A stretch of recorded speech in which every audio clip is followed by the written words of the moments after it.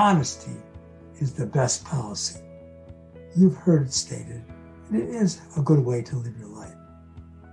In a legal matter, especially an accident, accidental injury, it's critical to be entirely open and honest about your history, about your treatment, and about your problems. We at Reifman Law Firm are a fine team, and we are here to make the most of your injury